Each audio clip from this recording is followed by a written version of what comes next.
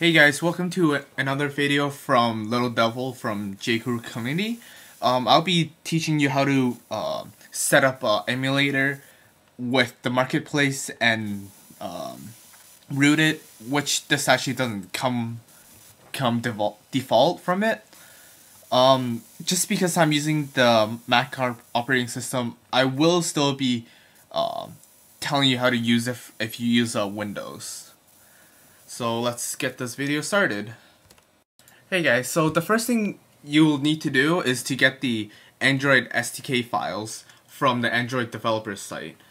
Um, I'll be posting this link in the info bar, but um, the first, so you you want to download uh, whatever platform you're on, Windows, Mac, or Linux. So since um, I'm on the Mac operating system, I'll download the Mac version. So after you finish downloading yours, um, you want to want to unzip it, and you should get add-ons, docs, um, platform, I think, and tools. Um, after you unzip that, um, if you're on the, you want to open a command prompt or your uh, terminal if you're on Mac, and then navigate to your folder where your Android S- SDK file is and then your tools folder. Um, if you're on your if you're on the Windows, then you would want to in your Android SDK file, you would want to open the SDK setup. And if you're on the Mac operating system, you have to type dot slash Android. This will open your SDK SDK file, uh, your manager, sorry, and there should be another window pops up which will tell you to which is this uh, loading source. Basically it'll tell you the stuff that you can download from from from their site. Um you you will probably just want to get the um, API 7 7 or 8 probably just 8 because uh, API 8 is your API 8 is your um your 2.2 framework API 7 is your 2.1. So after you finish downloading your API 8, it'll probably tell you to, if you want to reboot your um, ADB server, just say yes and it'll be on their way. So after you finish that, uh, you hit the virtual device, hit new, and then type the name of your, what you want to call your um, AVD, which is your Android virtual device as you see up here. Target, um, put it to Android 2.2. And the size, just, it really doesn't matter. It doesn't have to be big because you aren't going to be putting much files in there at all. So you hit create AVD. Okay, now the next thing you want to do is instead of starting it, starting your um, AVD on the manager, you want to start it on on a command prompt. So open another com command prompt. Go to uh, go back to your uh, where whatever your folder for your uh, SDK file is. Android tools. Now you'll want to type uh, emulator. If you remember, if you're on the Mac, you have to type the dot slash and if you're on Windows, you just have you don't have to type that all. You can just type emulator. So emulator at the name of your AVD. So in this case, mine's called jCrew, and then dash partition dash size 96. Basically, what that does is uh, for you later on, it'll allow you to modify the system files, which will allow you to root the uh, emulator or install more uh, the marketplace. So now since this actually does take a while, we'll we'll move over to onto this side. You'll need to download the emulator files or the marketplace files and the root and the stuff that require uh, that you need to root your phone your emulator. So you save the file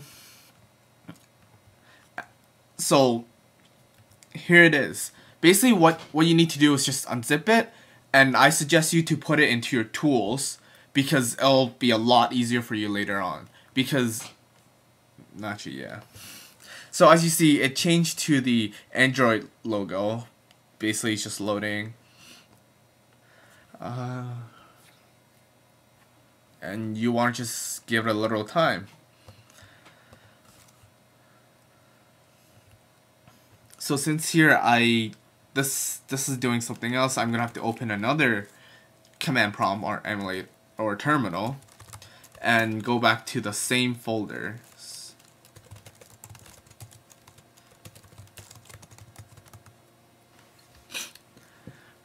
Now there are a few uh, files which which gets useful.